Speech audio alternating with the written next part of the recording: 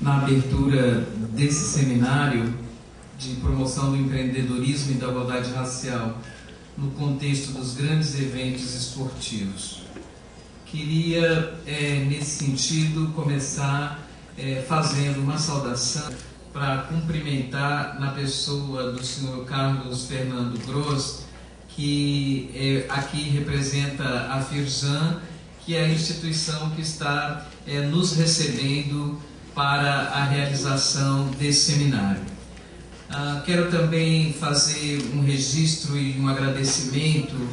ao Ministério das Relações Exteriores e ao Ministério dos Esportes eh, que nos acompanham, a ACP, ah, nessa iniciativa, ao governo do Estado do Rio de Janeiro, através do secretário Rodrigo Neves e do superintendente de promoção da igualdade racial, Marcelo Dias, e do é, presidente do Conselho do Negro, do Conselho Estadual do Negro, é, Paulo Roberto dos Santos. É, quero também, finalmente, é, agradecer muito, muitíssimo ao Consulado Geral é, dos Estados Unidos, é, que foi efetivamente responsável por colocar em marcha a ideia desse seminário, possibilitando a ocorrência dele através desse convite que foi feito à nossa, isso já é nossa agora, que ela já está aqui no Brasil desde sexta-feira, nós já adotamos, a nossa ex-prefeita de Atlanta, a senhora Shirley Franklin, que nós vamos ter a oportunidade de ouvir hoje. E também agradecer ao Fulton County, o condado de Fulton, é, na pessoa do seu presidente John Reeves, que também se juntou a essa, a essa parceria ah, no sentido de fazer com que os grandes eventos esportivos do Brasil, assim como o que aconteceu com as Olimpíadas em Atlanta, também tenham a marca é, da inclusão da igualdade racial. Ah, é, dizendo isso, eu quero também aproveitar, estando aqui no Rio de Janeiro, para fazer um registro, porque ontem lá na Bahia, quando nós abrimos o seminário da Bahia, é, eu me dei, o consulado a embaixada foram muito gentis de dizer que a ideia inicial desse seminário era minha, e isso acabou me remetendo a, a 20 anos atrás, que foi quando essa ideia é, efetivamente nasceu. E, e, faço esse registro porque há pessoas do Rio de Janeiro que participaram dessa experiência junto comigo. Estão aqui o nosso Filó, é, que é, em 1991 participamos, Filó, Medeiros, eu, a Benedita da Silva, esses aqui do Rio de Janeiro, e mais outros companheiros é, de São Paulo e da Bahia ah, participamos de uma, de uma visita a organizações é, negras nos Estados Unidos. E uma parte muito importante dessa visita, na época promovida pela Fundação FOR,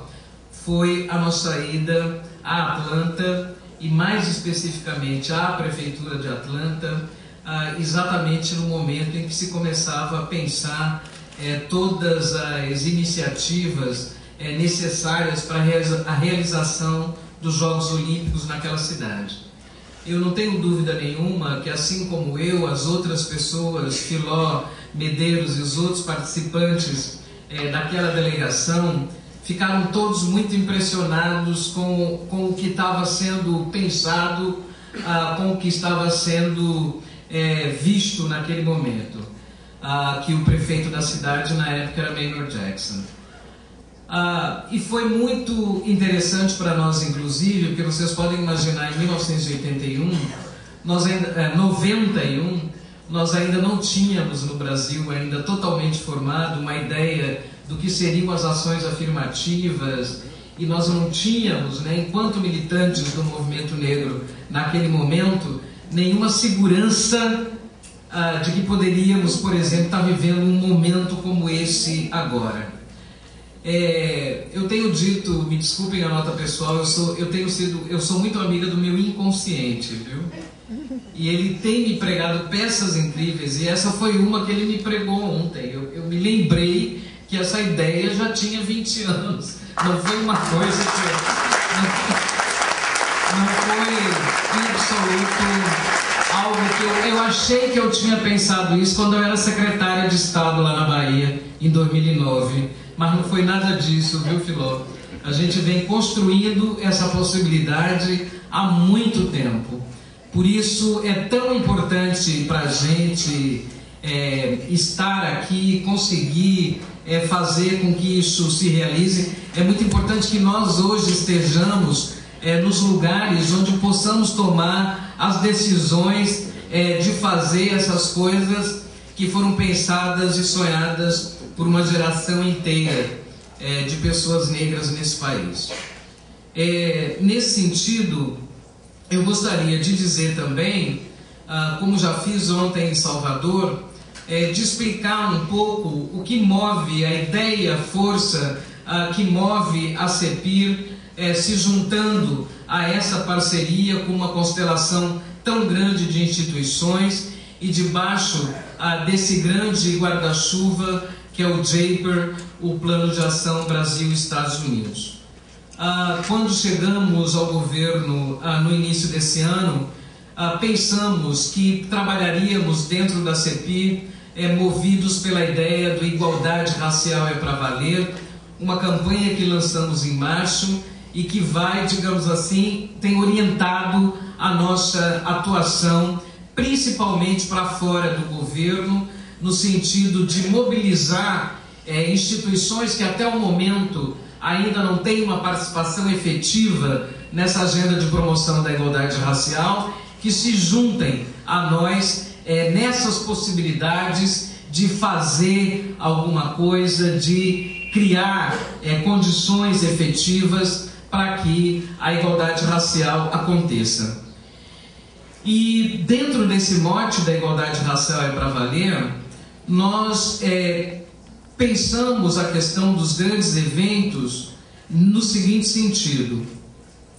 o esporte no Brasil, e mais especificamente o futebol, é a área da ação, é a área social na qual é, os negros têm tido historicamente a maior participação.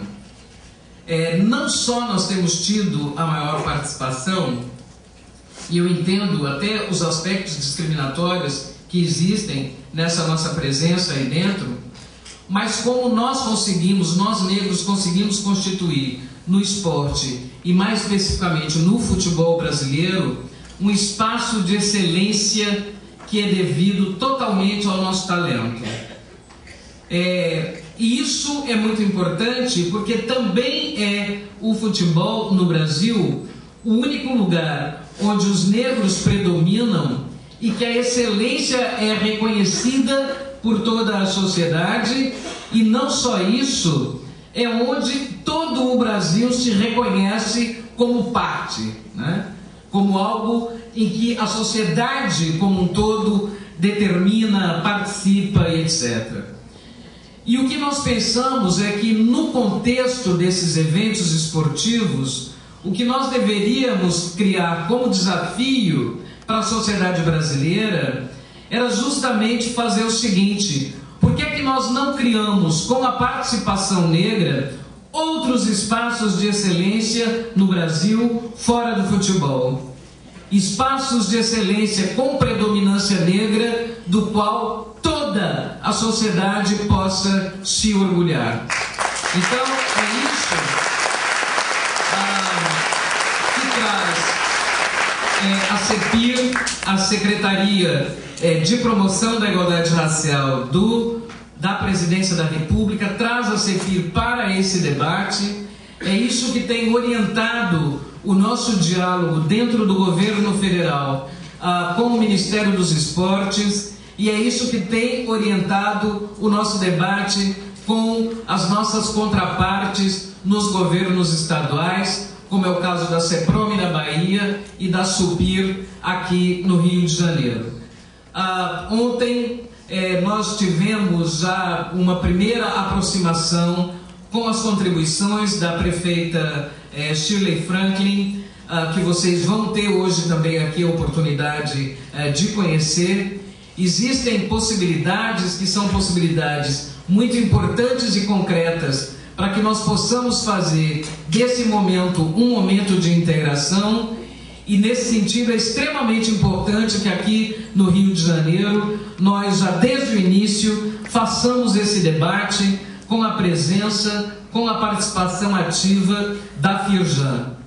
Porque, sem dúvida alguma, ah, dentre todos os setores que se mobilizaram e se mobilizam ao longo dos últimos anos, no sentido do combate ao racismo e da promoção da igualdade racial, para além dos movimentos sociais, para além dos governos, o que nós precisamos hoje, sem dúvida alguma, é o engajamento efetivo da iniciativa privada, especialmente do seu setor industrial, é, no sentido de que nós possamos efetivamente é, fechar um ciclo e aproveitar esse momento que é um momento extremamente é, delicado do ponto de vista internacional, mas muito fecundo ah, do ponto de vista interno, ah, da sua possibilidade e da sua capacidade de promover uma inclusão efetiva de vários setores da sociedade brasileira. O que nós trazemos, portanto, para essa Copa,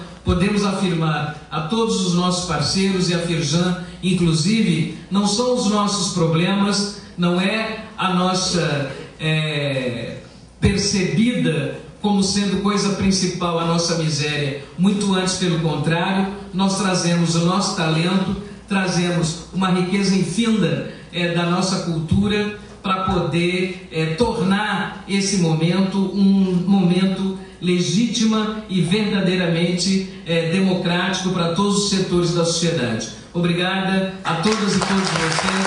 é, pela presença. Eu peço desculpas por ter me excedido um pouco é, no tempo dessa falação, que deveria ser apenas uma saudação de abertura, mas é essa a saudação e a mensagem que nós da CEPIR trazemos para esse seminário. Muito obrigada.